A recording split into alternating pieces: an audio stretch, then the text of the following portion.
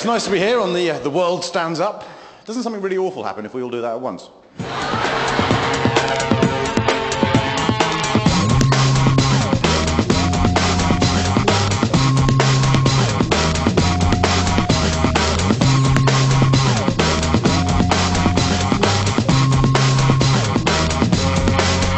My name is Shazia Mirza. At least that's what it says on my pilot's license.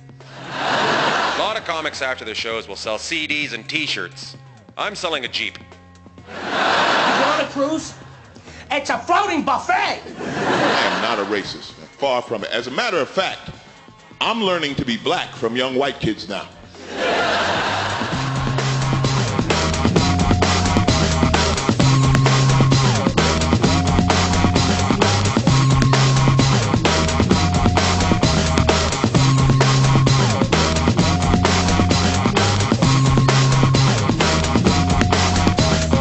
My wife, she does. She doesn't like. Uh, she doesn't like me. Okay, how about that?